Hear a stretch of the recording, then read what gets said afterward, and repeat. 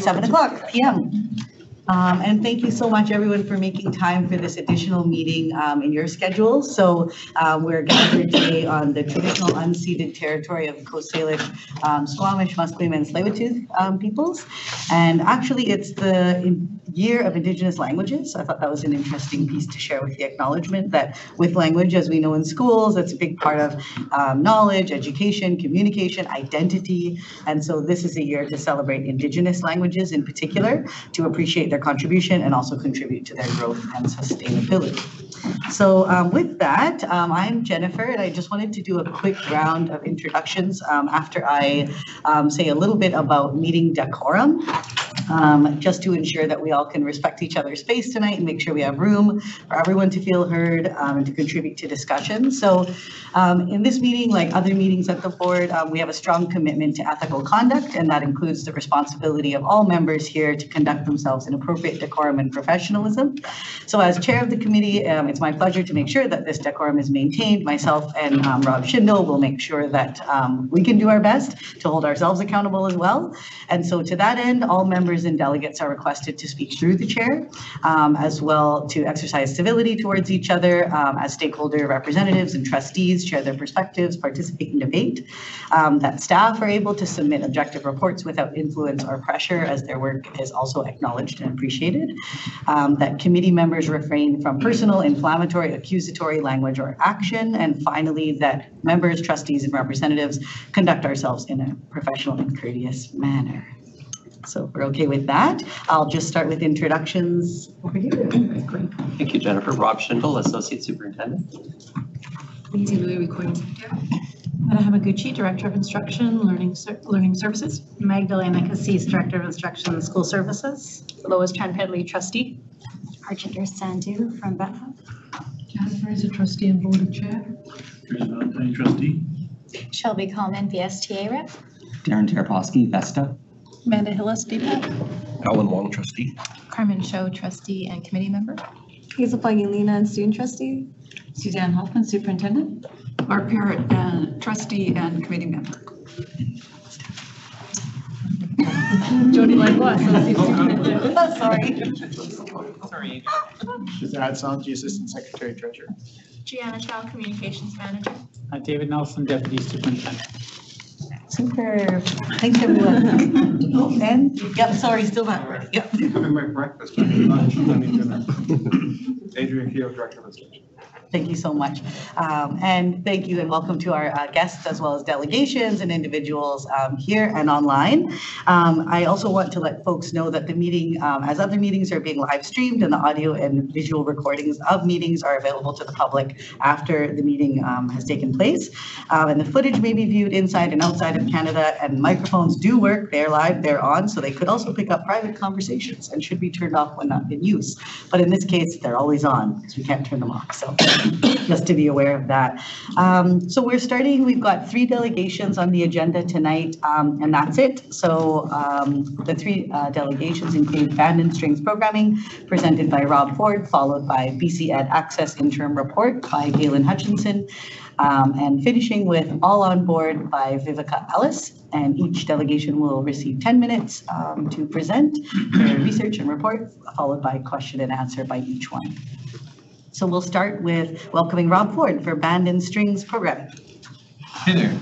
Um, It's been an interesting evening. I was at the other meeting. That was pretty exciting. Um, So I'm changing gears. So we're talking the arts.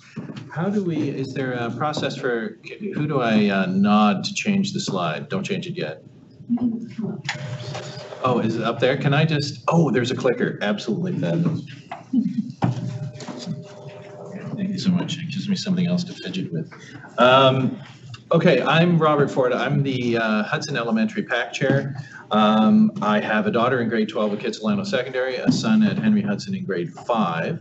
My wife is the uh, choir director um, for uh, choirs at Trafalgar Elementary, Hudson, Lord Tennyson, as well as the piccolo conductor for the Vancouver Bach Children's Choir.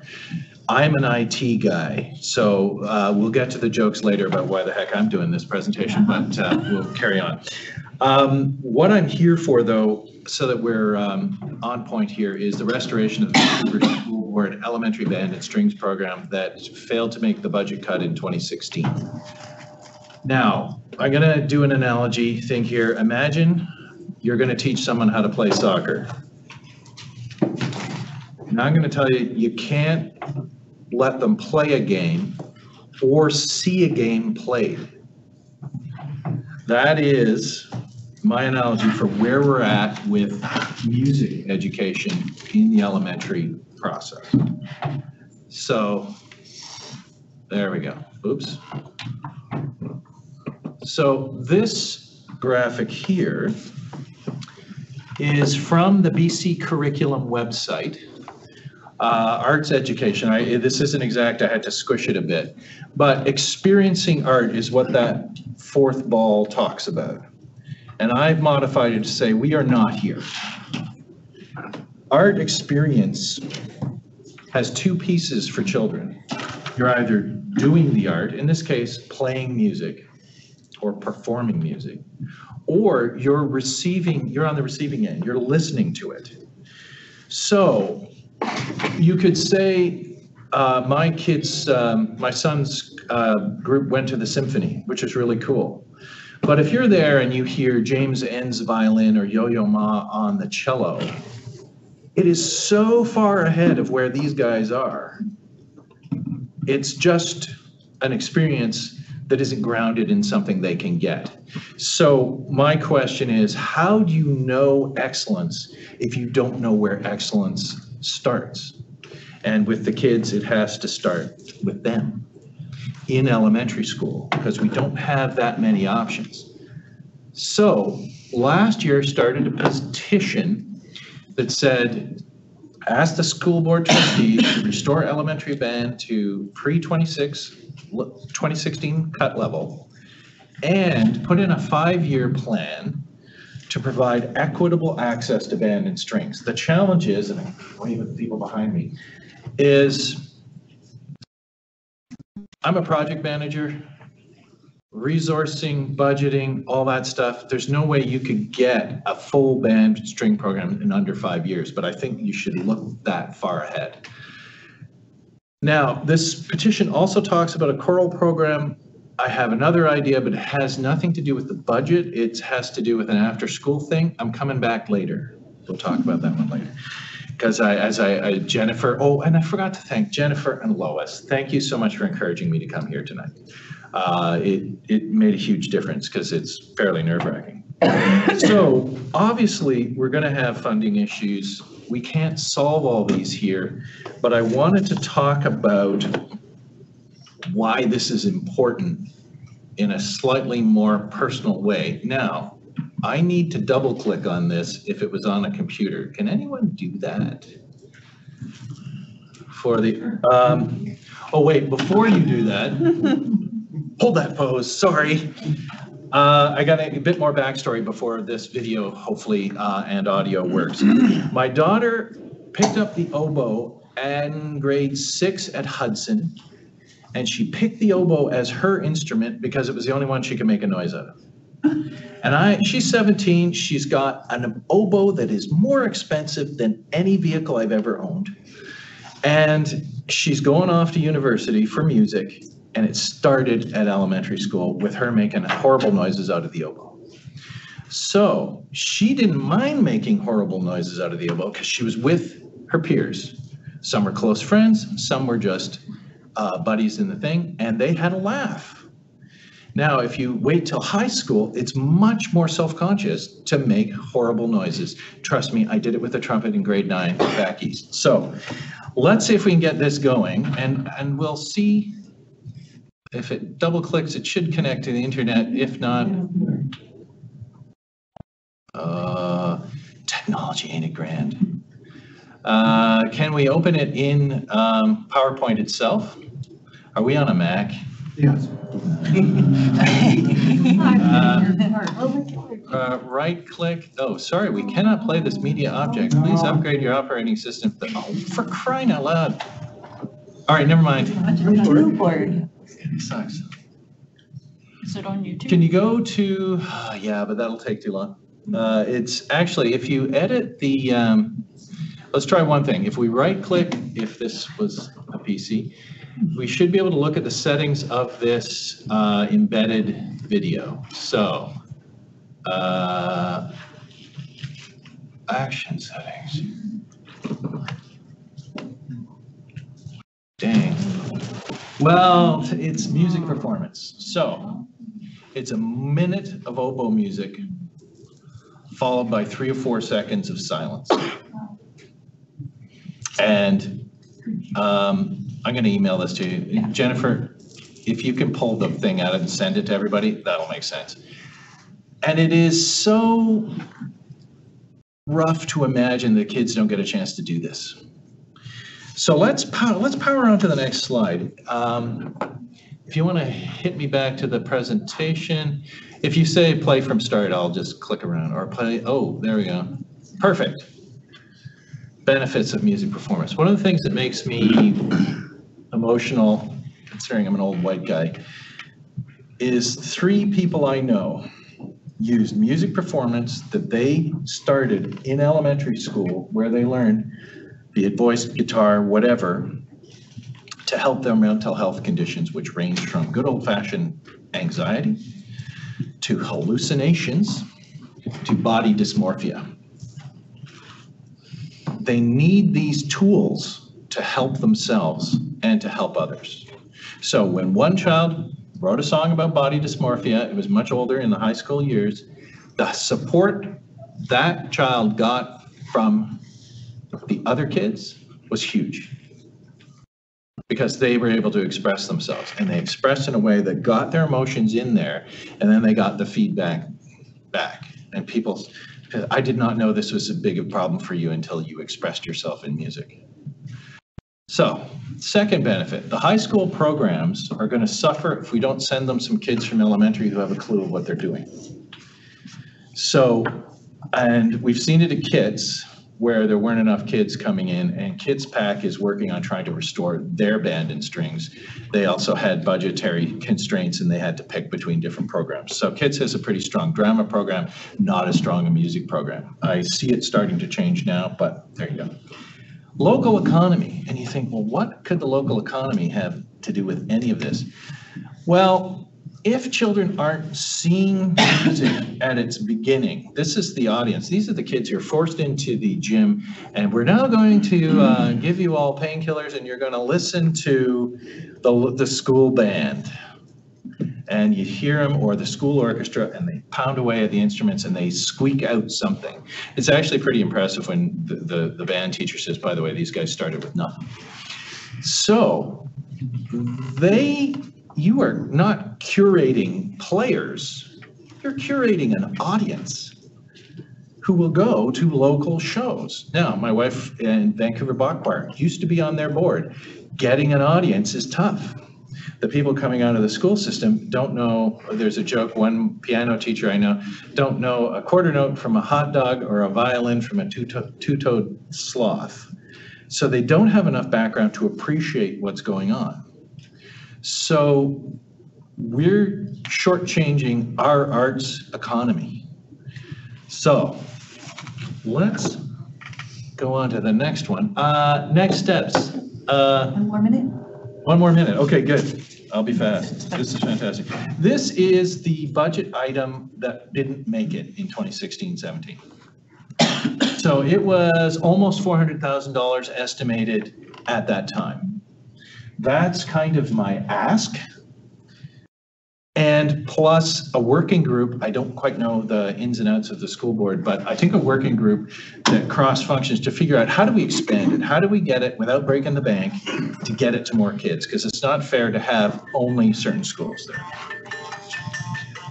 So um, this slide, I'm assuming everybody has this because, uh, yeah, I've been at this a long time, so someone sent this to me when I asked nicely. But I'm going to end off with, here's my delegation. A couple of us are here, delegation members, put up your hands. Yay! A bunch aren't, but uh, said, no, put my name on here because this is important. Now, is this impossible to fund? Henry Hudson Elementary has a playing field that survived the rains. We got slip field drainage. Oh my God, we are so happy. I cannot express to you how thrilled we are that the kids can use it. We want to shoot all the local dogs. I'm sorry to use an aggressive term, but they dig the thing up. So we just have maintenance. Um, Jim Machino's not in this thing. His eyes would be rolling like crazy. Um, So we're trying to figure that one out, but we have space.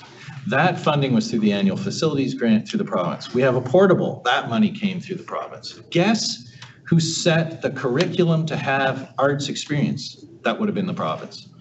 We have to get them on board, either money-wise or resources or what have you, so that we can do that. Now, normally, questions, I'd say, do you have any questions? But I actually don't know that much. I have questions for you guys. What's the process for getting this considered for the budget? And how do we get a working group together? Those are my two questions over to you. You may not have answers, but I'm officially done the presentation. Thank you. Thank you so much. Thanks, Rob.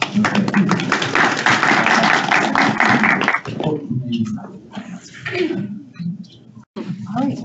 Thank you so much, um, Rob Ford, for the presentation on band and strings. So we'll open it up for questions, comments, dialogue. Sorry. I'm being coached by my DPAC. So I think we could bring forward one of the questions about how to get this into the budget process. Um, Yep. Do we want to jump to that? Shazad, would you like to answer questions around the budget process? Yeah, so there'll be, um, there'll be some budget consultation meetings that are coming up, um, February, March in time to get ready for budget uh, nineteen twenty. Um, they can come forward there, or trustees can also, uh, bring it forward during their, also budget deliberations. Thank you, Shazad. Can I ask a question related to that through the, through the chair? Um, Does it, is it effective, like, I'd like uh, one of the trustees to bring it forward, but do, if there's an interested group, like our little delegation comes forward and, and offers to speak and talk to the importance of that, does that help? Is that normal? I'm sorry about my ignorance of the process, but. Uh, Through the chair, yeah, there, there will be a process where um, we'll have a public consultation where um, there'll be delegations coming forward and bringing budget proposals forward for consideration. And then it all gets, it, you know, it comes up to the board for final approval and decision. Just time management planning. Thank you. Other questions or comments? Jen? I'm wondering if there is any, um, where we are, as a district, is there any work being undertaken around uh, elementary music um, by staff or contemplated?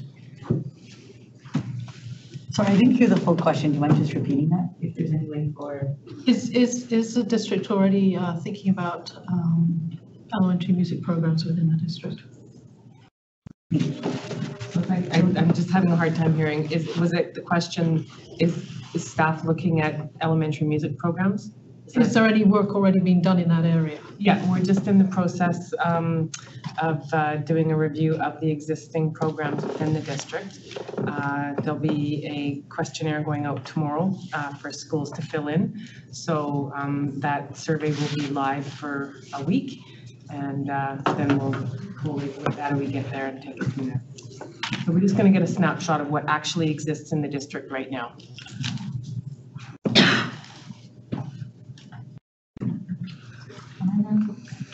Hi, through the chair. I have a question um, regarding how to get this in process. Part of what I understand is there's stuff in the collective language that makes it more of a prep sort of opportunity.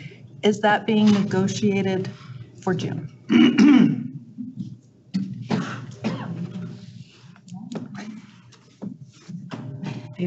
So through the chair, I think discussion of collective agreement proposals wouldn't be appropriate at a public meeting, so I think we best that's a comment on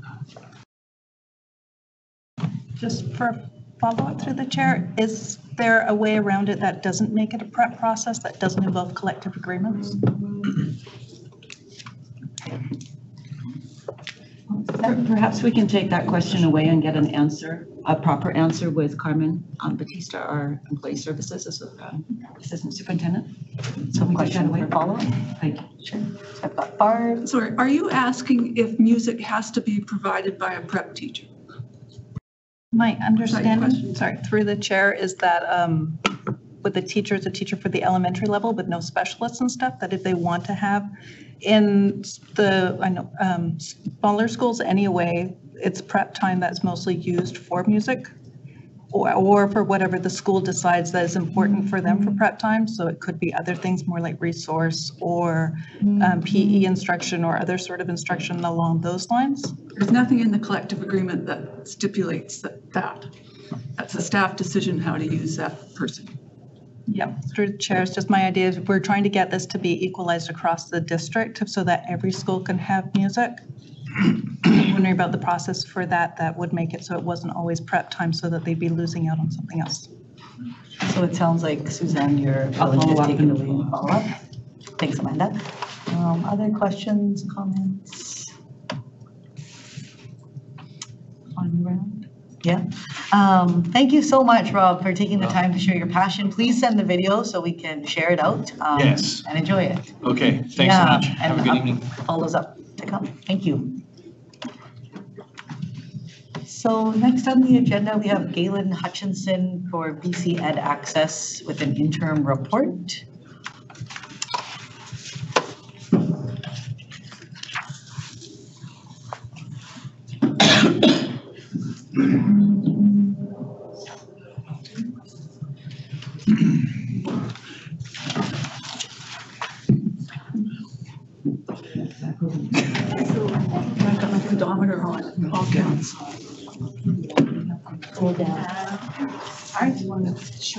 Good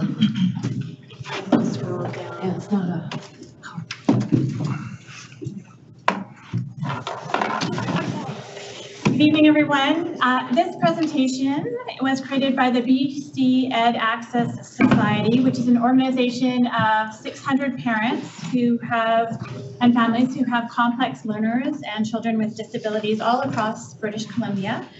And the BC Ed Access uh, Society is a nonprofit society that has been in operation for approximately five years. Uh, I found BC Ed Access when uh, it became clear that my little people, one of my uh, short little people, due to chronic systemic underfunding, was being put at risk because of her complex learning needs.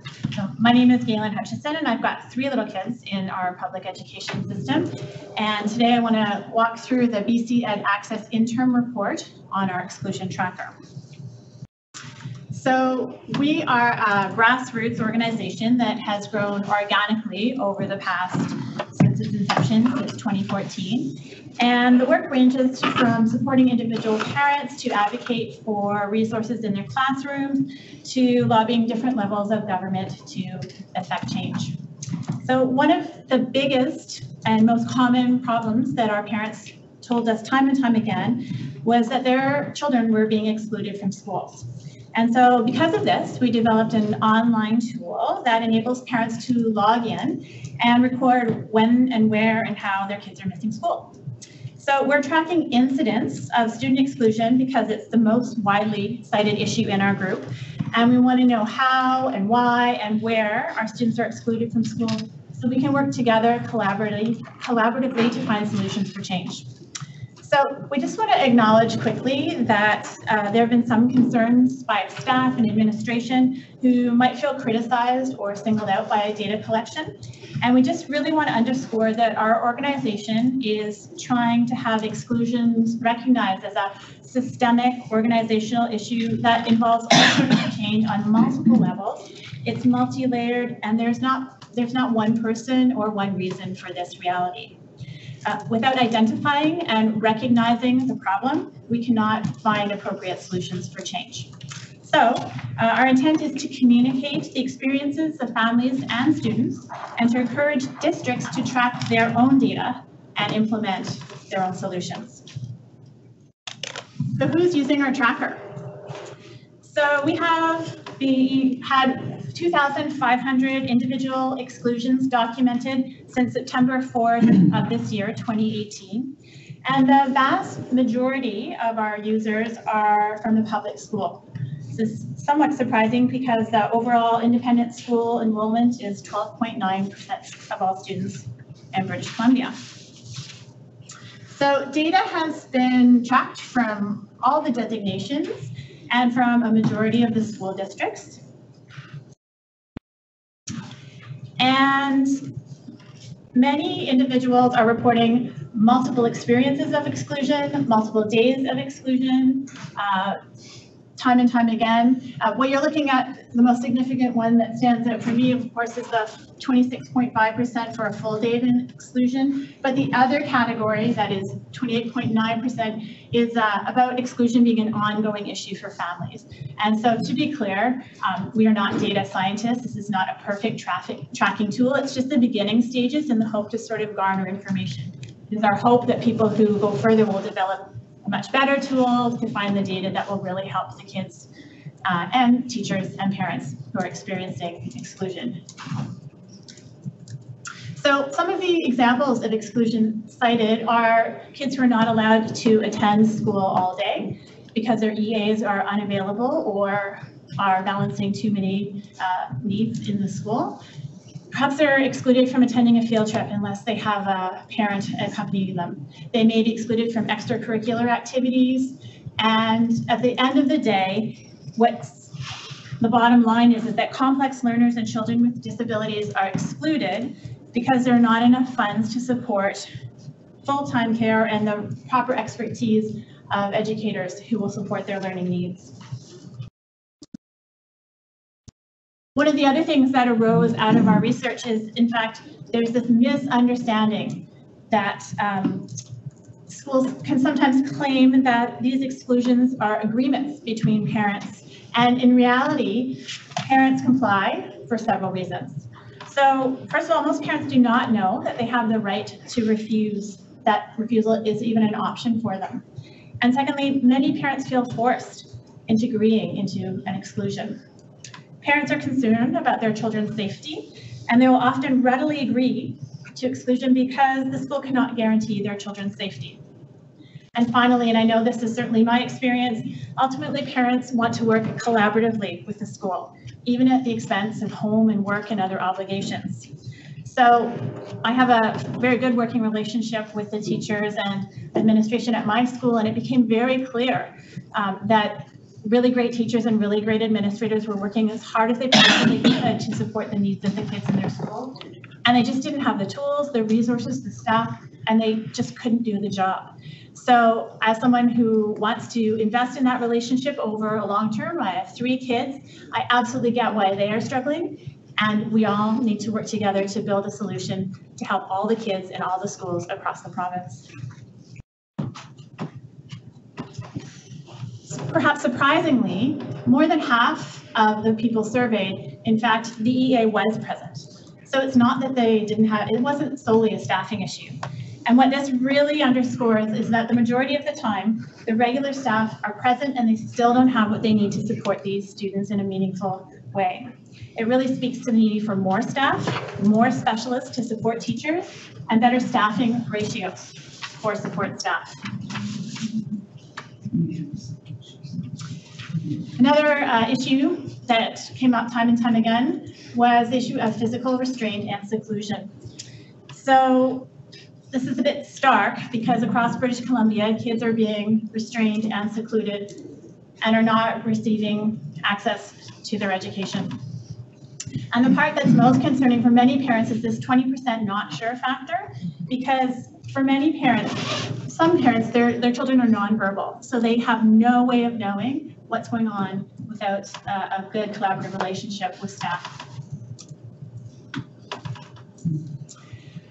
So what parents are saying is that, that children are not getting equitable access to education.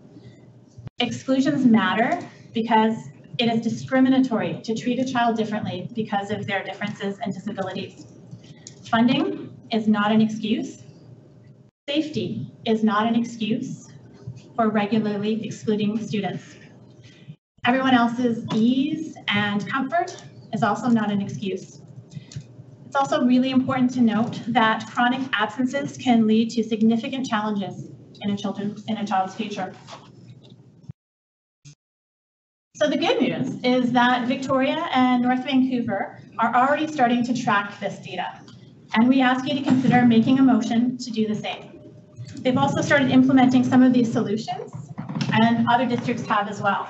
Just read off a couple of them, but to identify students with higher support needs who are being sent home, to have multiple EAs trained to properly support each of these students, to only have backup EAs placed with students who are flexible in terms of having a different EA. And so this speaks to relationship and trust and attachment.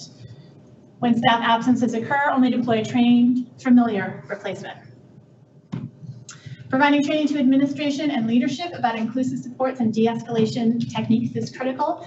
And this one's really important. Have a board certified behavior analyst or someone qualified to perform a functional behavior analysis on staff at school. If you don't know how you're doing, you don't know how you can improve. And across the province, the schools really need to address some of these questions. And we're wanting to encourage staffing other specialists like speech and language and OTs and other support services for wraparound care for families and students. One more minute.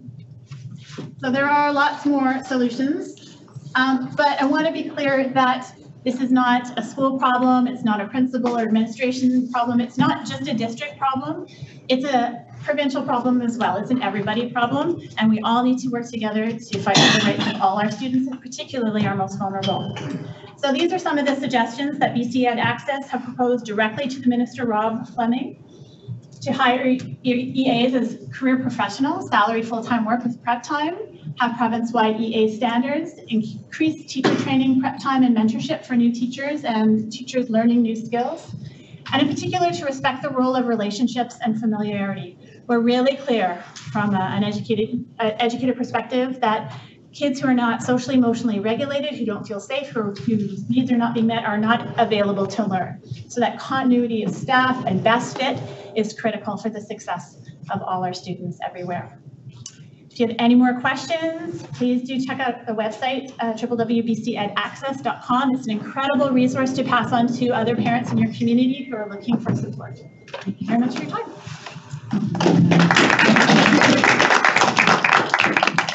Thank you, Galen, for that research and information presentation. So we can open up for questions and discussion.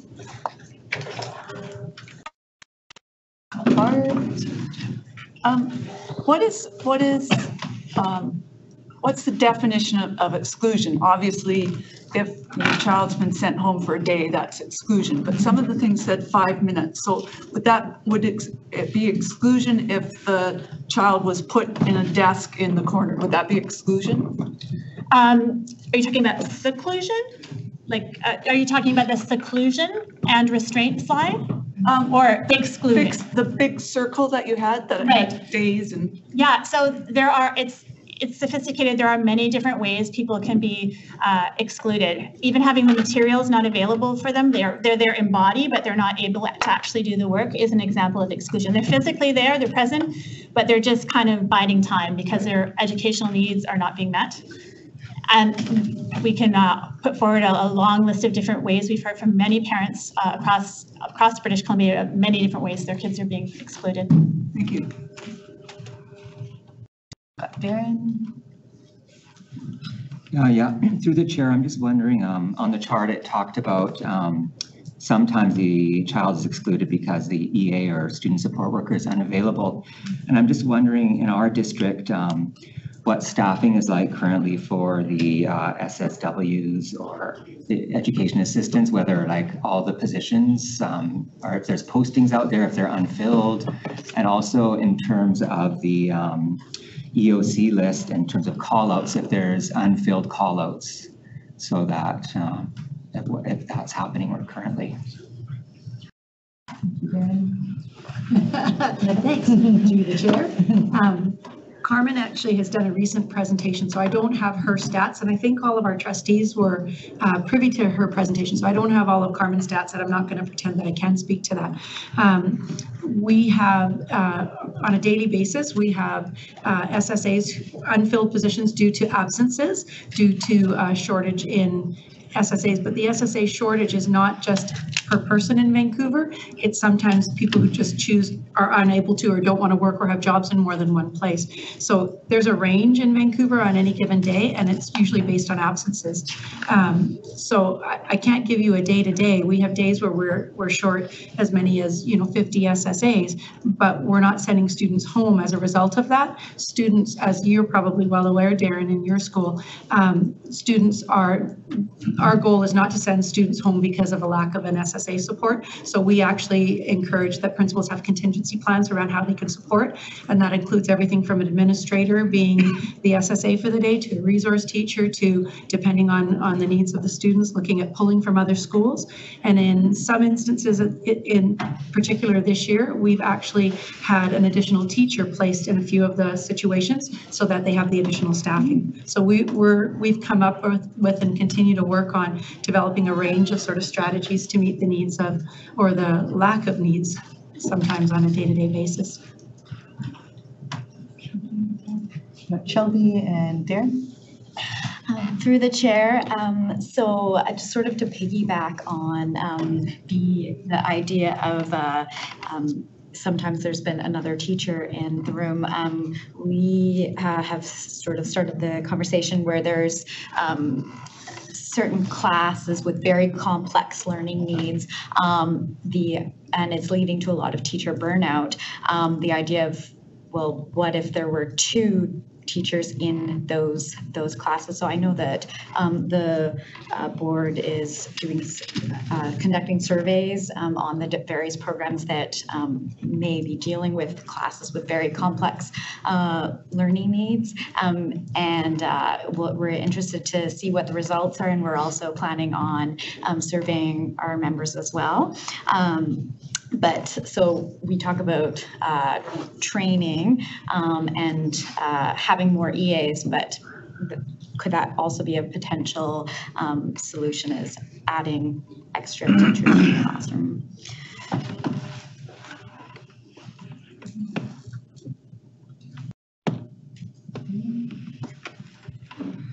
Yeah, I'm just wondering if the presenter is thinking of um, uh, presenting your data to um, MLAs or provincially in some way to um, advocate for funding and and whatnot.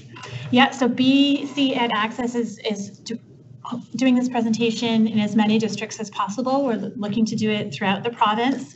Uh, We've already done it in several places and have had several meetings with the minister and continue to do so to advocate for all of these things on behalf of kids. Can I follow up? Sure, Darren? I just want to mention that um, VESTA has policy about inclusion as well as the BCTF. And um, we're really committed to the inclusion of all students. And, um, you know, as part of our policy, we um, talk about that the ministry needs to pro- provide appropriate funding to ensure proper supports are in place uh, for all special needs students and their teachers, which, you know, include in-service for teachers.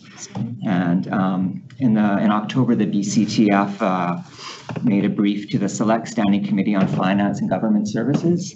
And they made three recommendations around special needs and, and support for successful inclusion. And one of them was that the Ministry of Education aligns special education funding with special education needs, closing the current gap between what school districts receive in special education funding and the much greater amount that they spend on special education. So and um, introducing per student funding amounts for high incidence designations, including children with learning disabilities and those that require moderate behavior support. I might just add to that, it, it's not just students or just parents or just communities. It's also this profoundly affects teachers and burnout in our whole community. It's, you know, often, um, you know, it's a multi-tiered layered system that is, is dysfunctional when it comes to true inclusion for a lot of these kids. And it's going to take every level of government um, to make the difference that we need. I have one. Um, So Mike, thank you so much, Galen. Um, I'm wondering too, maybe more generally, um, what would be the process to um, explore inclusion of EAs and the other specialized folks that you'd mentioned um, in the presentation uh, in a budget process? So How, how would that occur? Maybe Shazad? Yeah, I think it would be, it would be the same as the um, responding to the band and strings. It would all be during the budget proposal process. And uh, there'll be opportunity to come as, present a delegation to the full board. And uh, then again, through the trustees, proposals can come forward.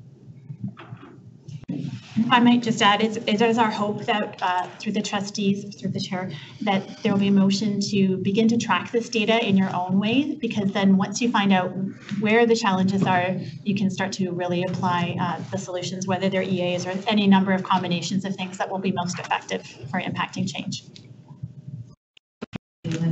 Um, and Meta, did you want to? Uh, Through the chair, uh, we do track uh, our exclusions. We do track right now the number of students who have missed days as a result of a shortage of of SSAs.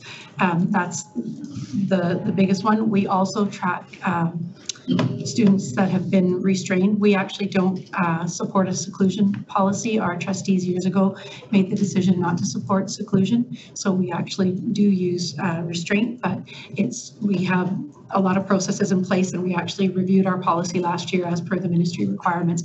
And we do have a tracking document that we use as well. So those are just currently in place for us.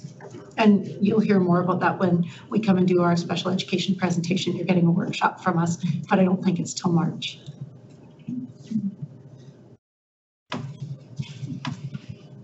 Is that, can I ask, is that something that BC Ed Access is aware of? Um, we, we'd love to see more of that. Uh, I guess what has become clear to us is a, a more expansive definition of what exclusion actually means. If parents don't even know that they, um, that they can say, no, that my, my student needs to stay in school and that's a school responsibility. Again, parents are sort of agreeing to take their kids and they don't even see it as exclusion. So really having an understanding of, of what exclusion actually means and that these kids uh, are, are not having equitable access to, to education. And it's, it is being missed in lots of ways because everyone's doing the best they can with a broken system and we want to make sure that we plug those holes and that doesn't happen anymore. Just to, can I, through the chair, sorry, just to respond to that. I, I'm at- in absolute agreement in terms of uh, supporting parents. I think what you're talking about is really doing a better job on, on, of communication. And right now, actually, as we speak, we have our kindergarten, um, we have a, an evening where we actually invite all of our students of, that are coming in with any kind of a, a, a, an, an, like, sorry, an, any kind of a, a ability uh, challenge. They actually uh, do an information night. It used to be here, but now it's at Garibaldi. We usually draw about 30 to 50 parents that are coming in, and part of that presentation does include talking about expectations, what our expectations are around inclusion, giving them opportunities and parameters for communication, how they can communicate. They get a presentation on who all of the different people are and all the avenues and the, la- the layers and the steps that they can go through. But having said that, we still only reach the parents that are able to attend or choose to attend. So I think that's something that will always be an ongoing challenge. We need to do a better job always communicating with parents and getting to them. Sometimes it's through our administrators as well. And I agree with one of your slides around supporting our administrators. And we actually also do a lot of, uh, we call them toolbox series for administrators on both inclusion, special education, all areas. And I think that's something that we need to continue to do because I agree with you around the communication piece. We need to make sure that we do a good job communicating with parents and collaborating with them.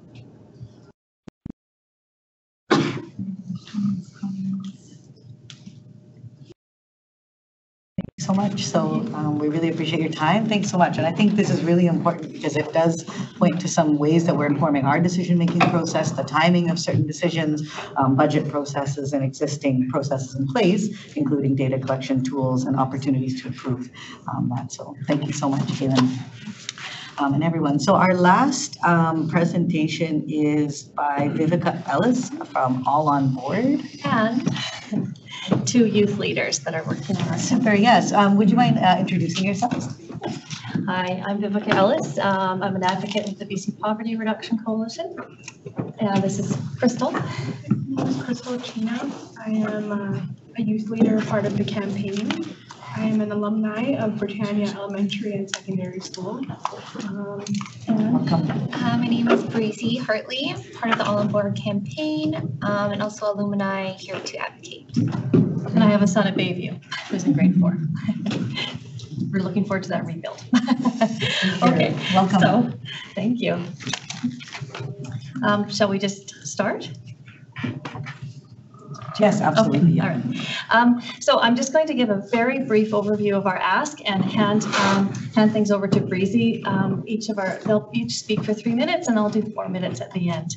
So our ask at this time, the All Aboard campaign, is calling for free transit for all children and youth 0 to 18, um, a sliding scale pass based on income to accommodate diversity in income, and um, an immediate end to the ticketing of all minors, 0 to 18 within TransLink, and the introduction of community service as an option for adults, so that there are options instead of just the one fare infraction ticket.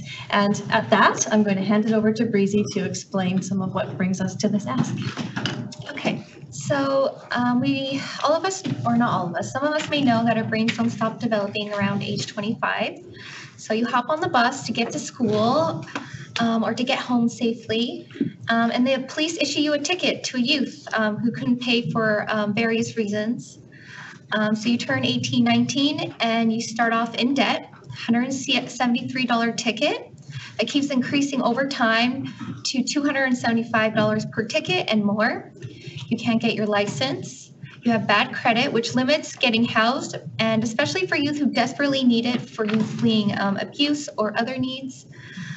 Um, so parents who can't afford transit to um, extra school activities, um, since they could barely um, afford the activity in the first place, and then on top of that, there's um, transit. So working at McCreary Youth Council and Advisory Committee, the top three barriers facing youth in BC are mental health, depression, and anxiety, which hobbies, passions, extra school activities um, studies show help. And the third barrier is transit. I've also seen how youth who have hobbies and extra activities are less likely to use um, drugs for they are receiving healthy dopamine and do not need to resort to drugs for expression and acceptance. Um, and for youth who um, do conduct in such uh, behavior like drinking, um, may be ashamed to go call their parents and are trying to get home unsafely. So it's a matter of safety as well. Thank you. All right, thanks, Breezy. Yeah, um, I'll be speaking from my experiences. So one of the issues was like funding money that we get from centers, a lot of it goes to the bus tickets and um, fare evasion tickets if we do get them. I know there's some programs out there that are funded through the government to pay these fare evasion tickets and debt. Um, when we could be using it towards more activities and bringing in more youth to join these activities, because I know um, at Britannia, a lot of the activities that we had, it was like a limited amount of space because of, we're using it, a lot of it towards the bus tickets. Um, Another issue is that families and youth, they sometimes can't do the extracurricular activities. For example, like basketball tournaments, a lot of them can't even get to it because they can't. So affordability is a big issue, especially in my community. And um, I've seen like a lot of families, um, they're choosing between groceries or paying for bus tickets. And um, sometimes like they can't even send their kids to school because they can't afford it. Or either they can't bring their young children on the bus because the parents can't afford bus fares for themselves which in turn is a safety issue because you're sending seven to 12 year olds on the bus by themselves, which is not safe. Um,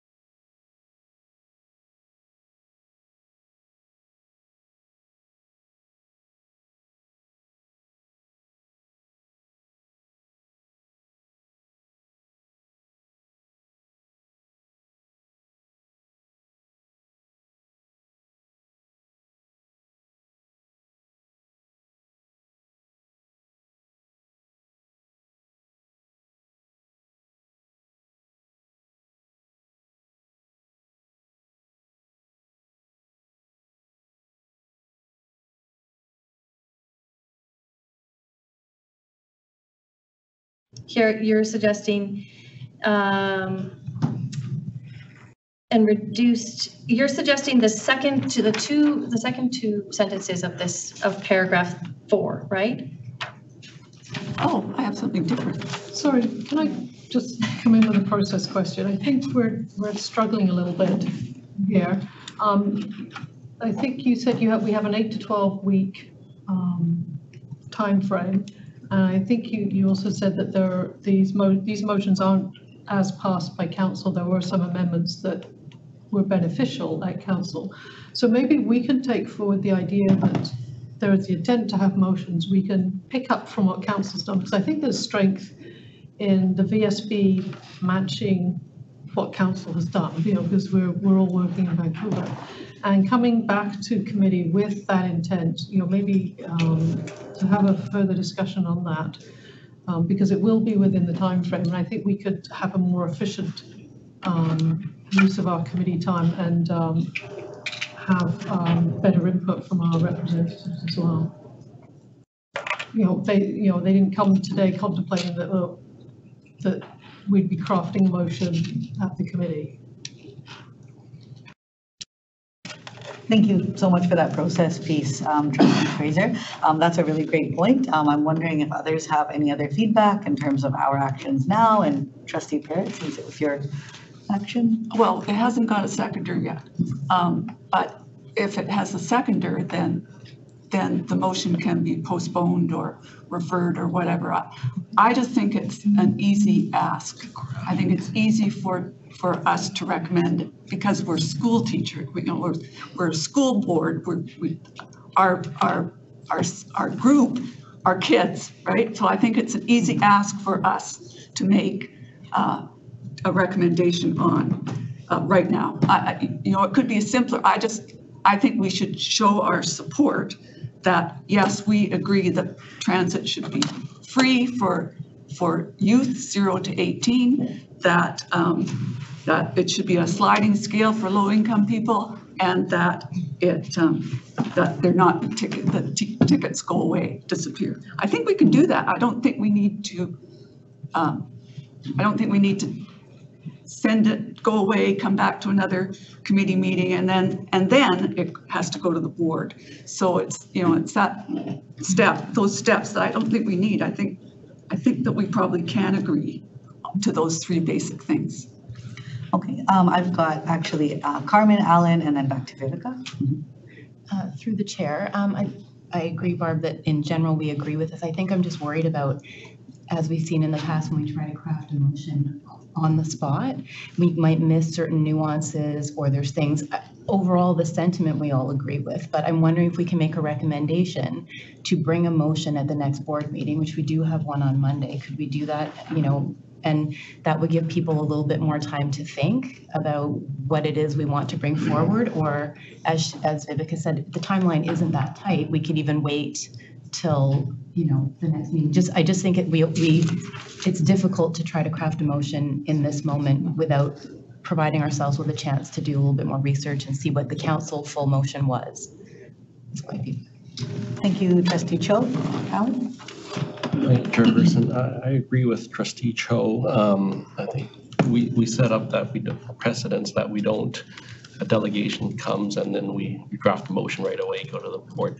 Um, I have a motion myself, but I was saving it for after asking the questions and asking, um, that we have staff time. Um, the under 18, to me, is, is something that has been discussed, um, on past boards and I can, I can, I'm very comfortable, but uh, for the, for the, the board and the committee, I think it has, to- it should pass through some, some lenses. Um, I do support uh, a lot of the general direction, but not all the general directions. Um, And to have a discussion with the delegation is, is, we've never done that before. Um, So it sets a precedent setting. Um, Sliding scale is is something that we need to discuss together um, because to me, that's, you know, is not directly related to, to the district and children in the school system. I mean, indirectly it does. But, um, you know, I have thoughts of a focus on something specific.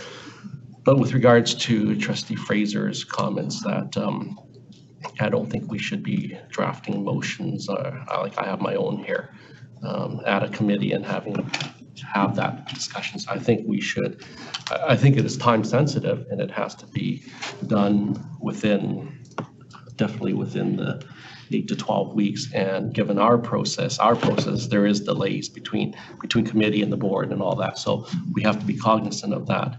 But to have that discussed, the motion discussed tonight is, I, I don't think it's the appropriate time. Any other comments or questions? Back to Barbara me. Well, so Chairperson, so there wasn't a seconder.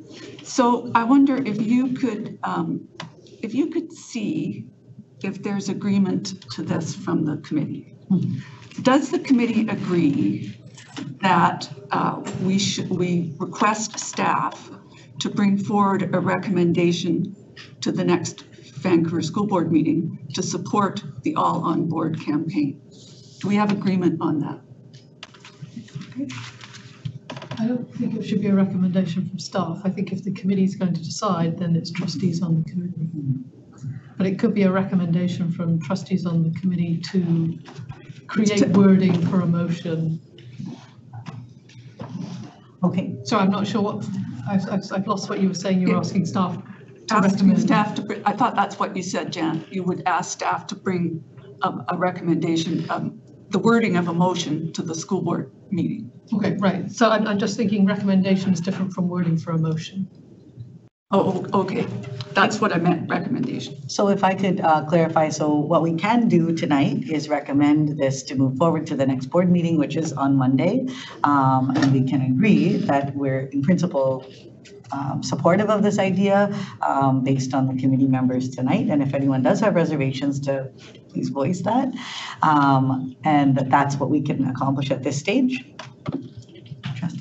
I wouldn't support a recommendation to take it straight to the next board meeting. I'd recommend it coming back to committee so there could be a more robust discussion at committee with our, our representatives before it gets to the board meeting. Um, Trustee Wong?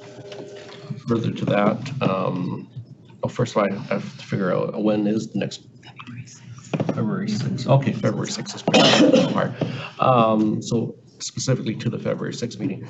But I think it's important to ask, ask staff at tonight's board meeting, tonight's committee meeting, uh, if staff has anything they uh, need to add to this, or um, when it comes back to the next committee meeting, is it simply a committee meeting and staff doesn't have a specific um, uh, direction on this? So I don't think it's, I don't think it's, uh, it's not affecting negatively the, any financial uh, implications or anything. So just asking staff, and they don't have to answer tonight if they don't want to, um, if they have any input. If not, either way, we should, we should have this discussion out of committee. But, but if it comes back to the next committee, uh, which I I support, rather than trying to, everyone bring their own motions, if we can think of a process of some, either the chair comes up with um, a motion, I'm not sure if it's uh, trustee Parrott's motion, my motion, or amalgamation of a number of thoughts. Thank you so much, um, Trustee Wong. Yep, Suzanne? So hearing really robust support for the initiative overall. Um, I think from staff's perspective, um, the timeline that would make the most sense is to bring it back to your next committee meeting, only because your next board meeting is on Monday. Um, and if we're going to reach out to the city to have alignment with what it is that they've moved, um, it would be good to try to find out from city staff what the exact wording of their motion is to see if this board or this committee wants to adopt what the city is saying directly or change their motion um, so that there's alignment and full support for the work that you're trying to do. So if the committee's agreeable, February 6th isn't far away. It's still within the timeline of what you're trying to accomplish. That still gives it an opportunity then to go back to the board and staff can then spend the time crafting a motion for you. Thank you, Suzanne.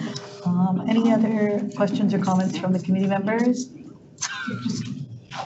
Uh, Yeah, back to trustee Fraser. I, I like um, Alan's point that um, we should focus on education. I think the key phrase that he used was access to education. I, I think if we, we as a school district could work, I would suggest we as a school district work within those, within that parameter.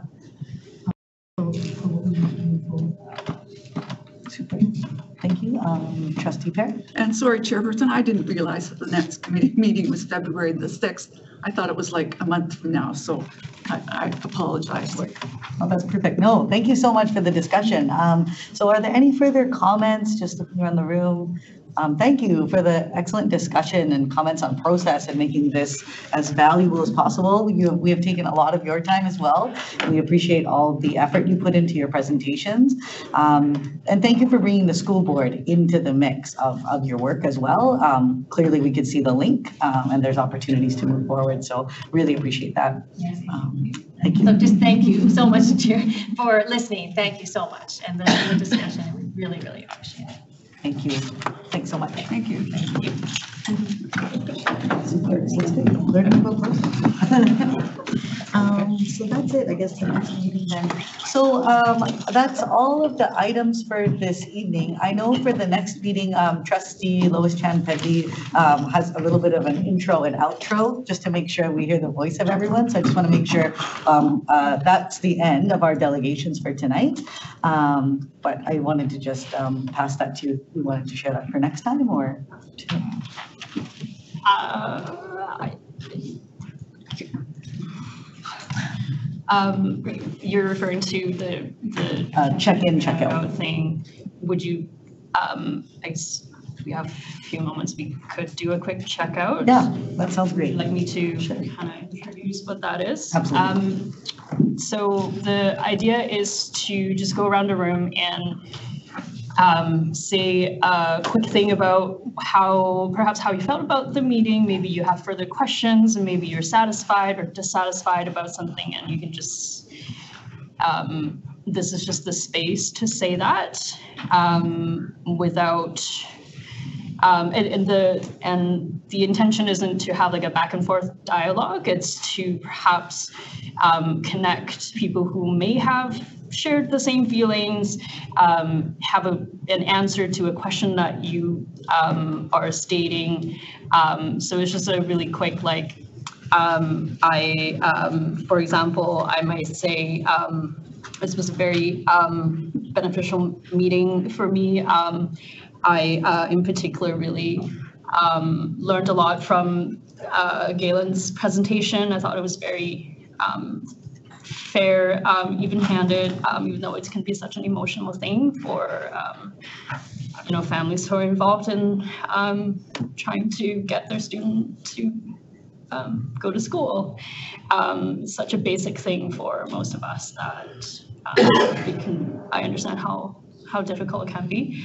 Um, and so just that is an example of what one might say. Um, it can be just a statement of gratitude, it can be whatever you want to say. You can just say, I don't want to say anything pass um, as well. So, um, so I've done my checkout and um, we could go around or we can do popcorn style. It doesn't have to be very long. so- And pass is an option. Yes, and pass is an option. Thank you. Sorry. Um, I don't have anything to add, I guess. I'll skip for now, I'll pass. Um, I can, I can provide some information about the question um, Amanda asked around the poverty reduction plan. And the motion that was passed in September 2015 was that the VSB renew and re- reiterate its request that the BC government develop and implement a provincial poverty reduction plan. So um, here we are, we, pouring time past the motion and look at happened, so. Um, I, I think that might address what you had, and I, I really appreciate the discussion that was around the table today. Particularly from our stakeholder representatives, because trustees talk all the time. I can just add that the VSTA is always um, happy to be part of the discussion. Uh, I thought it was great to hear from some community um, advocates. It was um, these, these people out in the community working hard and willing to come forward to this committee and share. And I just have a technical question. Are we going to do information item requests still? Because I have a request for the next meeting. Can I do that now or? I believe so, yes, for the next one. Um, VESTA would like to request a report from the Joint Adult Ed Board Special Education Committee at the next Committee Three meeting.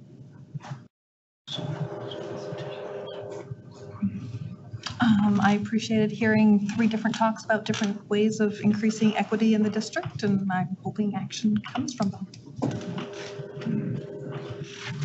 Looking forward to the next committee meeting. Stakeholder inputs with direct access um, and knowledge of, of students in our system with regards to free transit. Uh, I just really enjoyed hearing again from the groups in the community and just seeing the passion that people have. Certainly understand where you're coming from with a child. I have a child with a Q designation as well, and it is challenging, but also seeing the two students or former students here that were presenting about transit and how they want to make a difference for the next uh, group of youth coming up behind them, I just think is really impressive. So thank you. Yeah, um, similar to Carmen's comment, it was really cool to see um, certain um, groups helping students like access education was just like the bare um, what we should be reaching. And um, it was, I wish Viveca was still here because I'd like to personally thank her for coming in here. Um, actually um, presenting an idea to have free transit for um, zero students from zero to 18 years of age because um, being a student um, myself and also witnessing a lot of other students struggle with certain payments, um, it's it'd be really it'd be really nice to just have one less thing to think about um, regarding payments. So yeah, very nice. Um, We had a meeting this morning about equity, and so some of the conversations that I was listening to this evening, I was reflecting on comments that were made this morning about equitable access, and that resonated this evening with me too. It's interesting, I was going to say that in all of the presentations, equity came up, and I, and I would really love to have a conversation about what that means to all of us. What, what does equity, equitable access mean? And see if we can come up with a common definition of it. So following right along with what you said. Thank you, and thanks. I really appreciate this opportunity to actually hear from folks in the community, and thank you um, to trustee uh, Chan Pedley for bringing about a bit of a closure, because it's great also to be able to hear and thank staff and folks present in the audience, as well as the stakeholders here. Just appreciation for the delegations uh, that came in to uh, present uh, this evening. Uh, Thank you all for uh, doing that and inspiring a great conversation amongst uh, committee members. Thank you. Just to reiterate, I think what everybody else has said, it's, it's always good to think about when delegations are presenting, how can we do better for kids? So it always makes you think, and I think that's important. And again, um, similar to what Suzanne was saying, just, I, I kept thinking about coming at it from the lens of uh, equity and excellence. And ultimately, that it's really interesting hearing from delegations because it's, it's different lenses, but it ultimately is coming to that same common cause that we're all here for around the equity and excellence for all our kids. Yeah. Didn't forget about the folks in the back here. I appreciate hearing about the uh, transit challenges. As someone who takes transit many times a day, I'm always perplexed at the challenges or the that certain bus drivers take on. Their choice in who they're actually going to request uh, fare from. I travel in the downtown every day. So that was interesting. Appreciation for listening to all the diverse opinions and ideas. Yeah, just, uh, it's good to see that uh, the community takes the interest in the work that we do here at the district, and uh, they're so passionate about it. It was interesting to hear um, the presenters talk about transit, especially because I worked at transit before. So um, yeah, it was, it was it was a great idea, and uh, it's exciting to see that other organizations are supporting it as well, and where where it will lead to in the future. Always uh, like the opportunity to hear from different people on different perspectives. So Thanks, everyone. So we'll see you at the next um, February 6th meeting, 6:30, same time, same place. Almost the same time.